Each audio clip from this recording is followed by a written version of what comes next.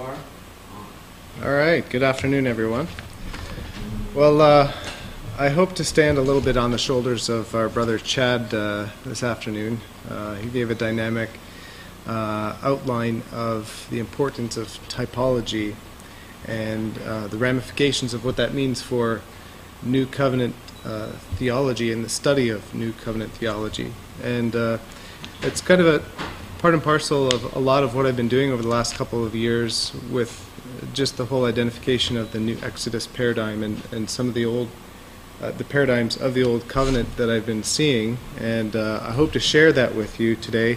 Although imperfectly, I didn't come prepared actually to give this. This is kind of a last minute thing, so please bear with me and forgive me. I don't I don't have all of my material and or references here. I think if I would have come fully prepared, prepared I would have had full color charts and everything for you, but doing the best that we can under the circumstances. So, um, the, basically, the purpose of what I want to present today is not so much to look at types per se, but to ravish your hearts with the glory of God in the face of Christ Jesus. As you as we move through this, we're going to see Christ revealed to us, as it were, in all the scriptures, um, starting with what happened in the what happened in the garden. And so, as we move through this, you're going to see a lot of repeating patterns, a lot of repeating paradigms, um, a lot of Jewish parallelism.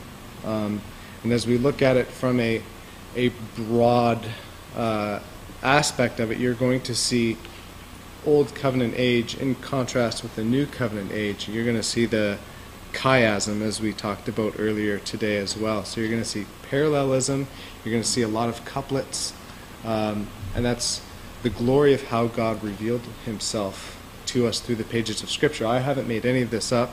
Maybe some of what I'm going to in- interpret or or, or share with you may, might be a little bit of, uh, of my interpretation a little bit, but for the most part, this is a, a historical narrative of how history, redemptive history, unfolded to the glory of God. So, to introduce, uh, I guess, the overall paradigm, what we see from earliest inception in the garden is this whole idea of failure in the flesh and divine accomplishment. And we're going to see that worked out through all of history. So, failure in the flesh and divine accomplishment. So, failure in the flesh always comes as a result of sin, disobedience to God, to His commands, to His precepts, and attempting to do something in your own strength. Divine accomplishment, we're going to see, comes through the promise.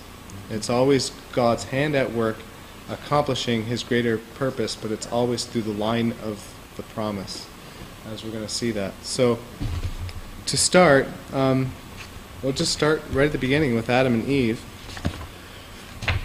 Um, so I, I, don't have formal notes to go by, so I, I may be uh, starting and stopping a little bit. But basically, what we have is in the in the beginning, God creates the world out of nothing, ex nihilo. So God breathes, and the world is formed into existence. There was light and dark, there was plant and animal, there was man and woman. Um, and, and, right from the very beginning, we see um, divine order. So we have light and darkness, we have plants and then flesh, we have Adam and then Eve. So there are these couplets of order that we see even in the opening record. And um, some of that corresponds to Adam and Eve as, as we look at Adam and Eve. Um, in the garden, in the early account, it just says the man and the woman. They weren't actually named yet until after the fall. And that's going to be significant because we're going to see the same paradigm happen in Abram and Sarai here, and later on, Joseph receives, or Jacob receives a new name, and Joseph receives a new name. Hmm. And so you see hmm. this new, new naming as it were, hmm. in reference to God's promise going forth and, and the glory of his revelation coming forth. And I think eschatologically, we can look down in Revelation where we receive a new name mm-hmm. ultimately. Wow. Yeah, so, mm-hmm. like, it's, it's pretty amazing. Okay, so we have the man who alone was created, and he alone received God's. We have the firstborn, the secondborn, firstborn, secondborn, firstborn, secondborn, firstborn, secondborn, firstborn, secondborn, shepherd, or, or sorry, crop grower, herder, and working to a divine, glorious climax of of this. Um, what's the word I'm looking for? But it's a climax where you know the two forces collide, as it were. And Adam, being the gardener, the last Adam, is the shepherd.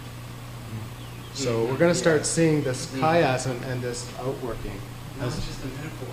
As, as we go along. It's it's helpful. This is awesome. it's pretty awesome. It's pretty awesome. So okay, so we have Adam and and or the man and the woman. Um, what we have in the man and the woman is the serpent tempts Eve. Eve comes with the fruit, and it, as it were, seduces her husband to transgress the covenant or the stipulation that God, Yahweh, God had made with Adam. Okay, so we have the whole concept of Eve taking of the fruit and seducing Adam with it, causing him to sin. Immediately, their eyes are opened. The, the tree of knowledge has brought to them the tree of knowledge. It has brought to them the knowledge, not the knowledge that they were hoping for. Hmm. Okay, so we're going to see the same, we're going to see this played out later on in Israel too, where the law all of a sudden brings to Israel the sudden knowledge of their sin, because this is really the prototype, and what we what we find in Israel at the giving of the law is the the fleshly Wow. outplaying of what happened here. Okay, so I know. I know. now some people don't say that there's a covenant there, but I, I believe that there is.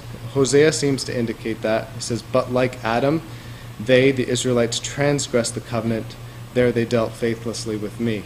So I think what the prophet is doing is looking back through history and seeing this paradigm worked out. So we have Adam being seduced by Eve. He partakes, they partake, they both fall into sin. Um, their, their eyes are opened, they're naked. Uh, immediately, they're naked. What did they try to do? They try to cover themselves in their own strength. So here we have failure in the flesh, an attempt in the flesh to make good in the flesh. That's not working. God comes along and says, Where are you guys? What's happened? Um, they confess we're naked. How do you know you're naked? Did you eat of the fruit? And then the excuses begin. Um, and what happens is they actually clothe themselves with probably the very leaves from which tree they ate. The, the sin becomes their clothing, as it were. So it's interesting because when God speaks to them in the garden, um, he issues a curse and a promise. And he issues a curse, he issues a curse to the serpent, to Adam, and to Eve. So to the serpent, he issues two curses. To the woman, two curses. To the man, two curses. So there's duality even in this. So to, uh, to the serpent, he says, You'll be on your belly, which I think means you, you're going to be cast to the earth. Um, and that he would eat dust all the days of his life, which I think um, means that he would be devouring, as it were, men, creations of dust, all of his life, because the, the devil goes around as a roaring lion, seeking whom he may devour. So he becomes a devourer, as it were, of the dust, being upon his belly, upon the earth, seeking to destroy through devouring uh, sons of Adam. Right after that, we have the promise that God would put enmity between the serpent's offspring and the woman's offspring. And that the woman would eventually, the woman's seed, the offspring of the, the woman would eventually crush the serpent's head, and in doing so, the serpent would inflict a mortal wound upon that seed. To the woman, two curses. that uh, the blessing, the, the blessing of the, the promise would come through child, a painful childbirth. Or I'd like to look at it not only physical childbirth, but a long history of eschatological childbirth, wherein the Messiah is brought forth out of a long history of painful travail throughout the history of redemption. Um, and also that her desire would be against her husband, but he would rule over her. So, thus, the second-born, the woman, would fight against the firstborn, but the firstborn would rule over the secondborn. So there would be this continuing enmity between firstborn, secondborn, but what we see is the firstborn ruling over, bringing into slavery, always afflicting, oppressing the secondborn. To man, uh, now named Adam, was cursed with two things um, that the ground is cursed, and the, that the ground was, it was cursed and would only bring forth cursed fruit of the ground through much pain. Um, so again, I see this uh, particular curse talking about, yes, the curse of the ground itself, but the curse of natural born Adamic line of man, the, the fruit of the ground, as it were, the fruit of the dust, bringing forth nothing but perpetual curse. Mm. So it's not just talking about the creation and everything that comes up out of the ground, but it's talking about the curse that perpetually is going to be upon man. And secondly, that man would uh, return to the ground, to the dust from which he was taken. Ultimately, he would die. So ultimately, the firstborn figure was cursed with death, as God promised. And Eve, as it were, the secondborn, was, was given the promise of life, the promise of the seed to come. And that's why, immediately following what God pronounced to them, Adam, as it were, in faith, calls Eve life giver. He, he looks to the promise and says, life giver. Yeah. So, um, so we have Adam associated with being a gardener, Eve associated with being uh, a shepherd, as it were, a, a, herder of animals in the context of, of naming the animals. Um, Adam's covering from the tree was fruitless, it was a failure. But then God comes along, and it doesn't say what kind of animal he killed, but provided for them a covering for their nakedness with skins. So there was a sacrifice there, there was a, a shedding of blood. So we, we have then the shedding of blood coming, as it were, to the second born line, which is going to carry the, the promise, as we're going to see. Um,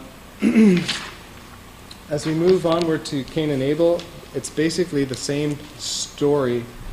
Uh, it's a couplet of the same story. We have basically the same exact pattern. We have Cain and Abel, we have sin, as it were, crouching at the door, the personification of sin, so Satan crouching at the door, seeking to devour him, um, bringing him into temptation because of, on account of Abel, because Abel brought a more perfect sacrifice, the, the blood of animals. Um, so Cain's jealousy, Satan's, as it were, enticement through Abel. Abel was slain. And, and so that again is a, is, a, is a picture of the coming Messiah who would be slain on account of Adam. Um, then, as we continue further, uh, we have uh, increasing population, we have increasing um, um, sin and wickedness in the midst of the earth. Um, right before the flood, uh, the Bible describes that the sons of God um, take to them the sons of the daughters of men. There's a lot of debate on exactly what that means, but there was great wickedness in the earth, so God destroys the earth, raises up Noah, um, and there's some great recapitulation going on here because a lot of the creation imagery we see in the beginning, God again as it were, paints Noah as a new Adam or a new creation. There's a lot of creation imagery here, creation language going on. So he is a, a new type of Adam. Noah says becomes a man of the ground.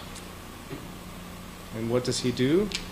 He becomes deceived by the ground. He, he builds a vineyard, partakes of the wine, gets drunk. What happens? The same as what happened here, becomes naked and in need of a covering. Hmm. And so his faithful sons, um, Shem and Japheth, bring a covering in and cover their father's debauchery, his nakedness, his sin, hmm. as it were, that came through the curse of the ground. So, hmm. again, the, the, the whole theme of Noah becoming a crop grower, being deceived, as it were, by the fruit of the ground, which deceived Adam, um, is replayed in Noah, his nakedness, his need of a covering. Um, then from Ham, Shem, and Japheth, Japheth was cursed, and his line and Japheth's line actually become the Gentile line, um, which becomes Egypt and Assyria, um, Babylon, all of the nations which ever served to afflict or bring Israel into bondage became that line, as with Lot, as with Ishmael, as with Esau. So the firstborn pattern, the paradigm within the biblical narrative is the cursed one, the cursed one who, who God rejects. Shem um, begat Terah, Terah begat Abram, Abram and Sarai. Um, they have within their history, I won't get into it all because it's, it's massive, but basically they have two Egypt experiences. Okay? Yeah. Because of famine. Go down to Egypt. Mhm. Sarai becomes the second born, Sarai as it were, becomes enslaved by Pharaoh in bondage in Egypt. So Abraham becomes enslaved on account of Sarai, just as Adam became enslaved on account of Eve. Um, through God's miraculous power, they are delivered. They have an exodus through which they receive riches, the spoils of the Egyptians. Um, this happens. This happens. That word is used actually there. Yeah, this happens twice in their history. But intimately connected to these two Egypt stories is also the Abrahamic covenant itself. And there's some debate on the Abrahamic covenant, but I, I- it is my opinion that the Abrahamic covenant is given in two parts. Um, it is given, um, is it Genesis 15 and 17? Genesis 15 and 17. So the first utterance of the covenant, if you look at it with the shedding of blood and the animals and the darkness and the smoke and the vapor um, and the light going through, it is, bears very similar resemblance to creational language where darkness was upon the face of the deep and the, the Spirit was hovering upon the waters, and God said, Let there be light. So we have, as it were, the first part of Abraham's covenant was creational. And Abraham, by vir- or Abram at this point, by virtue of Sarai, her temptation, tempted Abram with the forbidden fruit, Egyptian fruit, of hmm. Hagar. Abram goes into Hagar and produces Ishmael. Ishmael becomes a perpetual curse. The covenant is renewed, or a new covenant. It's pointing forward towards the, the, the great eschatological Old Covenant, New Covenant. You, you, we have this, but the, the covenant is renewed, um, and it is a gracious covenant through which Abram and Sarah produce Isaac, the true son of promise. So, the first covenant, or the first part of the covenant, however you want to say that, ends in, as it were, failure, producing a son of Adam. And the second produces a son of promise. And following the same paradigm, we have Hagar and Sarai produce Ishmael and Isaac. Ishmael, again, becomes a perpetual curse to his brothers. Um, it's interesting to note that Ishmael uh, himself went on to have 12 sons, which became 12 princes of a kingdom, which we see again, the godly line had a 12 prince kingdom, the 12 tribes of Israel. Um, so Sarah produces Isaac, the son of promise. The son of promise, it's interesting to note, has, um, as it were, an Egypt experience, but he never becomes enslaved in Egypt. He goes, uh, dwells on the outskirts of Egypt in Gerar. Um, he is a faithful husband. He represents Christ beautifully here. Because he is a faithful husband, he, even though the, the king desires her beauty, he does not allow that um, Rebecca to become enslaved. So he, as it were, redeems his bride and comes out with great riches and establishes a covenant of peace with his enemies around him. So he is, a, in the midst of this, a beautiful image of the person of Christ, the, the Son of Promise. And maybe that's why uh, Paul in, in Galatians says, You, like Isaac, are children of the promise, Mm. children of the Spirit. Um, so from Isaac we have Esau and Jacob. Uh, Jacob was a usurper. Um, he, as it were, has an Egypt experience. Although he doesn't go down to Egypt, he goes to down to Padan Aram, um, where he becomes enslaved by his brother. Was it brother-in-law or cousin or uncle Laban? Um, but again, through God's mighty outworking, comes out enriched, following the same Egyptian paradigm. Um, from Jacob comes, uh, again, two lines. We have Leah and Rachel. What's interesting about this is that um, we have the, the 12, as it were, the patriarchs who come from Jacob, whose name is later changed to Israel. A- Abram and Sarai's name are later changed to Abram and Sarah, Abraham and Sarah. Um, but Rachel's firstborn son, Joseph, goes down to Egypt and has two Egypt experiences in Egypt. And what I mean by that is when he goes down into Egypt, he's enslaved, he's sold as a slave, uh, then becomes, as it were, enslaved in Potiphar's prison uh, because he was falsely accused. And what we see happen there is two dream sequences. So uh, let me just refer to my notes for this.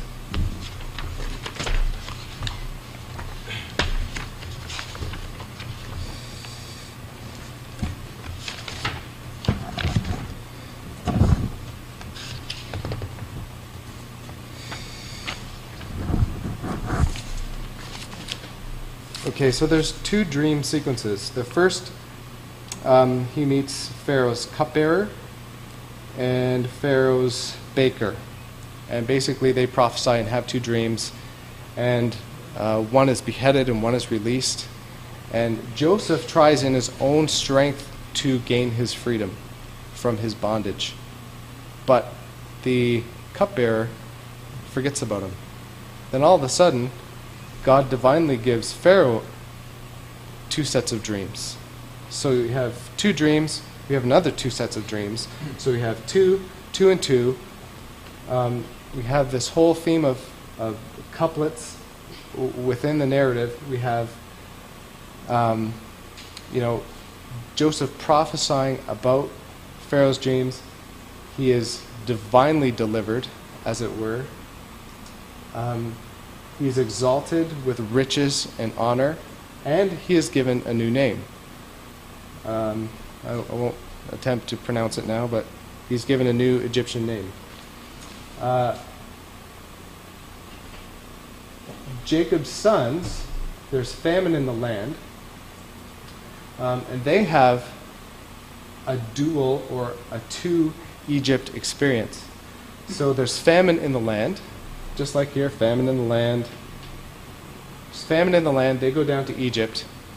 Um, Egypt, uh, Joseph uh, enslaves one of the brothers until they come back with Benjamin. So he enslaves Simon, Simeon, and they go back and they tell A- Abram or Jacob what had happened.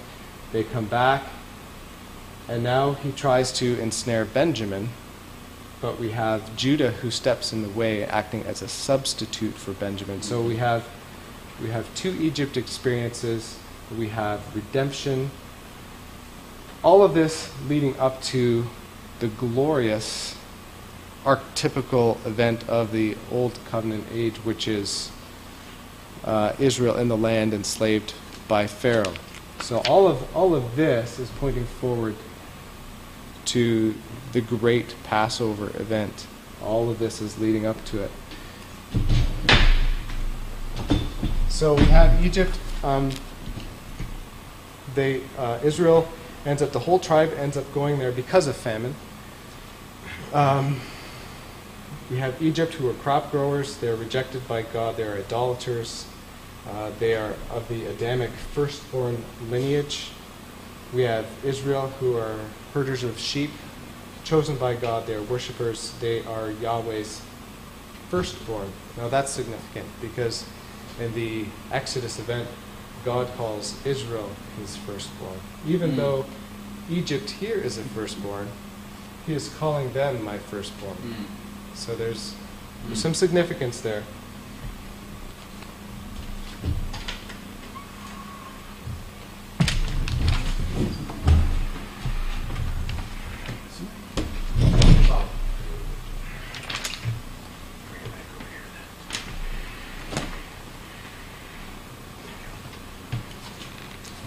So, I mean, I could unpack the whole Passover thing for you, but I've, I've done that already here. It's, it's just massively incredible the way uh, the types and figures line up to Christ. But basically, Moses is revealed as the deliverer, the mediator.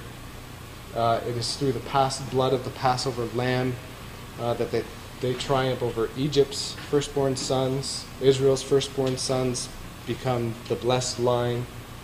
They come out with incredible riches, just like their forebears had. And they come out and they sing the song of Moses. And it's, you know, the book of Revelation shows the church singing the song of Moses and the Lamb, which is, I think, is eschatologically significant because it Now, ties all of this together. But we have 50 days after they come out, they have the giving of the law. Again, when you look at the imagery and the language here at the giving of the law, it's another creational, there's creational language and creational imagery here. You have darkness, you have light shining out of the darkness, you have God speaking, you have cloud and thick darkness, the Spirit, as it were, hovering over the people mhm. giving of the law. And the thing about the giving of the law that I, I would just want to share with you is that, in my eyes, anyways, it's a complete recapitulation of Adam's fall, of Abraham's unfaithfulness, of Jacob's unfaithfulness. It's, it's a complete recapitulation all the way back to Adam. So at Sinai, I'll just read uh, Israel reenacted Adam's fall into sin when she broke uh, the law covenant. So Aaron was the priestly representative of the nation. He was the Adam. Israel, as it were, was the Eve. So Aaron, like Adam, was Yahweh's priestly representative, and acting like unfaithful Eve, Israel tempted Aaron with the forbidden fruit of Egypt's false gods. Just like we've seen all the way back to Adam, and again with Abram and Sarai. So we have this tempting, as it were, of Adam with the forbidden fruit of Egypt. Israel immediately falls into spiritual adultery through, through worshiping the satanic fertility god of Egypt. She played the harlot and broke faith with her husband Yahweh. Um, scriptures continually repeat this theme of Yahweh entering into marriage covenant through the law with Israel, espousing her as his own, as it were, taking her as his bride. And she continually, over and over, fails, commits spiritual adultery, and is sent into exile. Goes back into this Exodus theme and Exodus deliverance, Exodus bondage or e- Egyptian bondage and deliverance. It, she continually lives out this theme the rest of her days. So she plays the harlot, and like Adam and Eve, the people became debauched and naked. So Moses comes down and finds them in an orgy. They're debauched. They're, they're naked. They're in needing, in need of a covenant or in need of a covering. Uh, the law covenant is broken. Moses smashes them. Israel, as it were, is now espoused to sin, to death, under the condemning power of the law. So the law becomes, as it were, the tree which exposes Adam's sin, because all of a sudden she sees her sin in light of the law, in light of the tree of knowledge. Mm. That's why Christ was hung on a cursed tree to redeem us from the curse of the law. It, it all points back to the same paradigm, the same thing.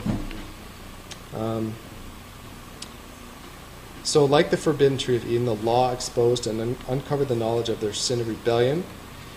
And just like Adam, Aaron blamed the people for his sin. He said, Not my fault. Not my fault. They tempted me. Oh. They deceived me. They wanted me to build the calf. Just like back in the garden. Um, so, as it were, Moses renewed the covenant, made new stone tablets, and also gave Israel a covering for her sin, which was the tabernacle. The tabernacle itself was a tent made of animal skins.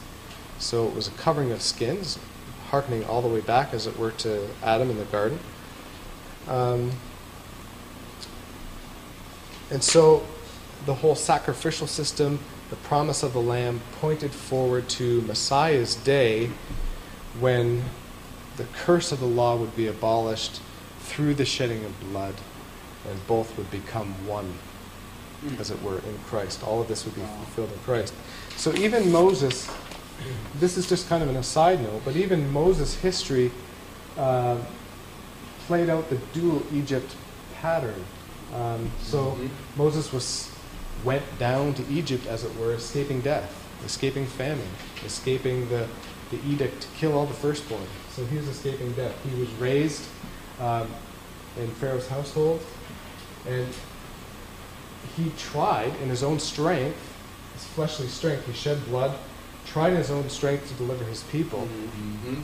and he had to, as, as it were, exodus out of Egypt. So he was exiled out of Egypt, where he spent 40 years in the wilderness.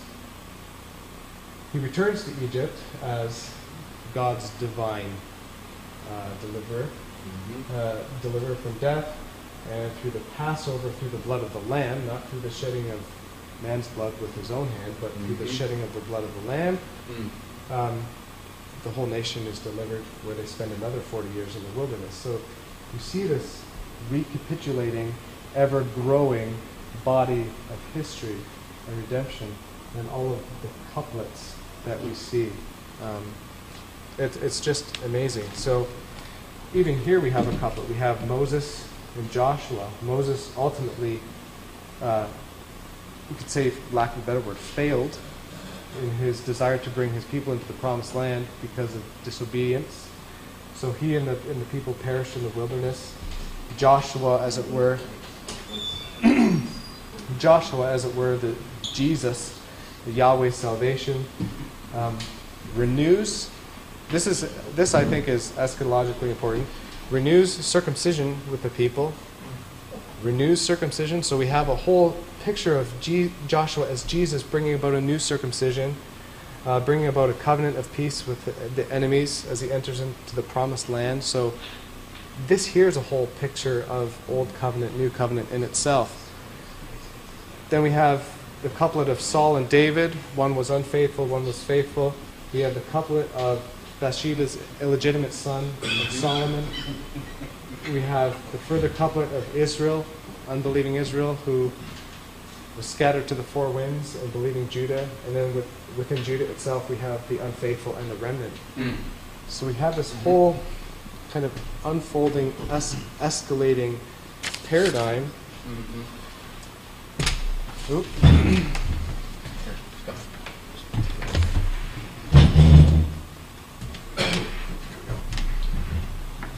So, if we look at this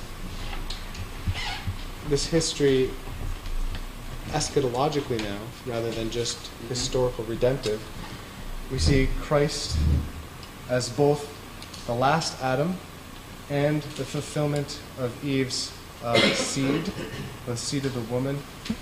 We see Christ as the righteous one, as Abel, who shed his blood to redeem his line. Um, we see Christ as the fulfillment of Abraham's seed. We see Christ as the fulfillment of the Isaac picture, Jacob as Joseph, uh, as the godly line of Israel herself. The whole Old Covenant, the giving of the law, was the foreshadowing of the, the new covenant, the giving of Christ Himself, the Spirit.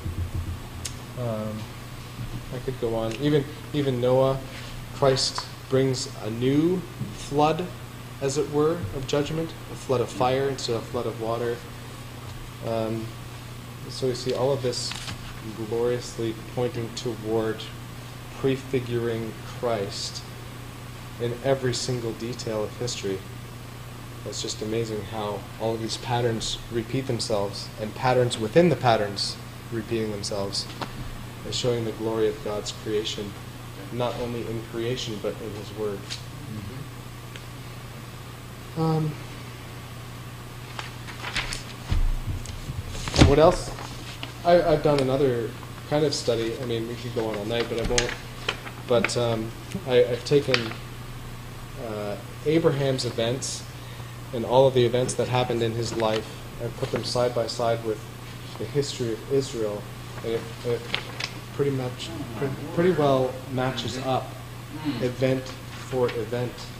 Exodus for Exodus, wilderness for wilderness, bondage for bondage. Like it, it's fascinating. It's it's unbelievable how gloriously everything fits together and images itself. And so that's why sometimes you hear me refer to Israel as Adamic Israel because that's what I see. I see Adam being the prototype, Adam and Eve being the proto covenant, but it really it's it's pointing towards the giving of the law and that which our condemnation comes from the mm. law, not from not so much mm. from because the law wasn't given in Adam, it was given in Israel. And so I, I often refer to Israel as Adamic Israel. And then what's really neat when you look at this eschatologically too through the eyes of Paul, um, we see that the, the line of Hagar, uh, which is Ishmael, he says, now belongs to Yeah. yeah. Jerusalem and basically to Christ, the Jerusalem above. So, Yeah, that is that right there in Galatians is just absolutely fascinating because all of a sudden everything that had always been applied to those that were outside of Israel is now being applied to Israel itself. Yeah. Right. Yeah. Right.